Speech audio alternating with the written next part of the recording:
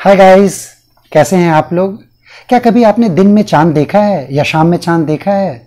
क्या कभी आपने ये नोटिस किया है कि कभी कभी चाँद रात में तीन घंटे के लिए उगता है कभी कभी छः घंटे के लिए उगता है कभी कभी आपको अर्ली मॉर्निंग में भी चाँद दिखाई देता है?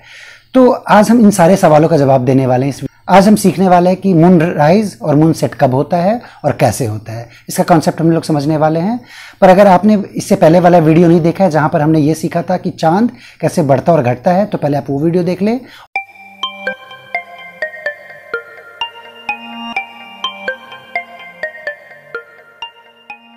तो आज के एक्सपेरिमेंट में ये आपका सन है, ये ग्लोब जो है, ये आपका अर्थ हो गया और ये आपका मुन हो गया। अब सबसे पहला कॉन्सेप्ट जो आपको समझना है, वो ये समझना है कि जब हम सनसेट की बात करते हैं और सनराइज की बात करते हैं तो अगर सन सनरेज यहाँ से आ रहा है तो आपको होराइजन ऐसे ड्रॉ करना पड़ता है। सो ये आपका होराइजन हो जाएगा। ठीक है? तो जब, और ये तो इसके इधर वाला पार्ट जो है, ये डार्क पार्ट है, यहाँ पर रात हो रहा है, और इसके इधर वाला जो पार्ट है, यहाँ पर डे हो रहा है।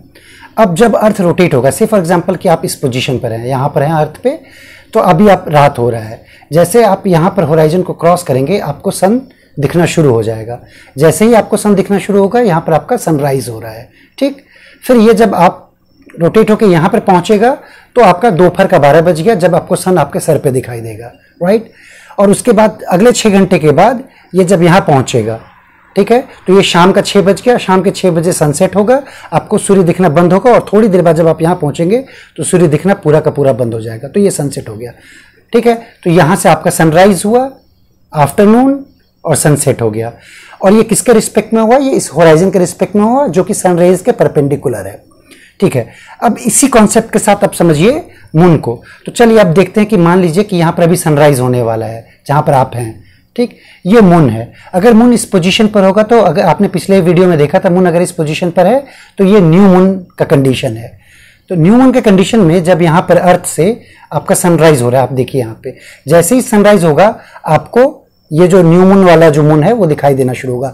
ऑल दो इसका ये डार्क पार्ट आपको दिखाई देगा, इसलिए दिखेगा नहीं। तो जैसे ही यहाँ पर सनराइज होना शुरू होगा, आपको सनराइज के साथ साथ मून राइज भी शुरू हो जाएगा, क्योंकि यहाँ से आपको सन भी दिखना शुरू होगा और मून का जो डार्क पार्क है पार्ट है जो न्यू मून है, वो दिखना शुरू होगा।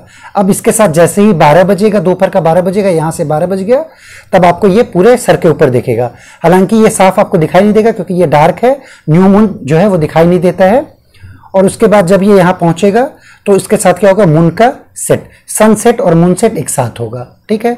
तो न्यू मून के केस में सनराइज सनसेट मूनराइज और मूनसेट एक साथ होता है। अब चलिए इसको देखते हैं कि जब ये फुल मून के केस में क्या होता है? तो फुल मून के केस में आप यहाँ से देखिए, शुरू करिए। तो जब आपके यहाँ सनराइज हो रहा है, आपको फुल मून दिखाई नहीं देगा राइट जब आपके यहाँ आफ्टरनून हो रहा है यहाँ पे, तब भी आपको दिखाई नहीं देगा।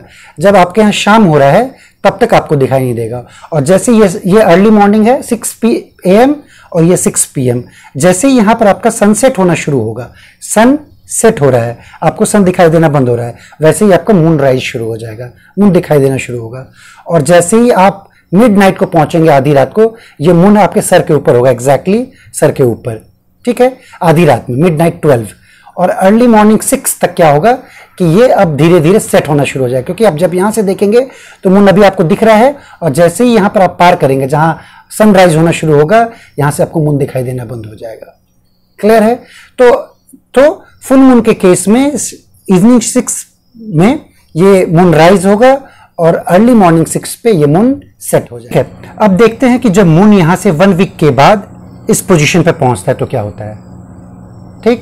सो so, इस इस पोजीशन में अभी आप देखिए कि आप अर्थ पे यहाँ पे हैं तो आपके यहाँ सनराइज हो रहा है। तो मून दिखाई देगा क्या? नहीं। तो आपको सबसे पहले क्या करना है कि इसके ये जो मून के रिस्पेक्ट में आपको पहले मून का होराइजन आपको ये ड्रॉ करना है इमेजिनरी लाइन तो ये मून का होराइजन हो गया करेक्ट तो जब अर्थ इस पोजीशन पर होगा तो मून इसको दिखाई नहीं देगा. आपको मून दिखाई नहीं देगा वहाँ से, क्योंकि आप, जब आपके यहाँ सनराइज हो रहा है. जब आपके यहाँ आफ्टरनून होगा तो आप मून के होराइजन को टच कर रहे हैं. आप मून के होराइजन में एंटर कर रहे हैं करेक्ट तो क्या होगा कि मून सन के रिस्पेक्ट में जब आपके यहाँ बारह बज रहा है, तब आपको मून दिखना शुरू हो जाएगा. क्योंकि आप इस होराइजन में एंटर कर रहे हैं. तो यहाँ पर क्या हो गया? मून राइज कितने बजे हुआ? तो 12 बजे, ठीक? और जब ये रोटेट होता हुआ होता हुआ यहाँ पर पहुँच जाएगा, आप ये आप इमेजनरी लाइन ड्रॉ करके रखिएगा। तो अब यहाँ से क्या हुआ कि आपका मून राइज हो गया।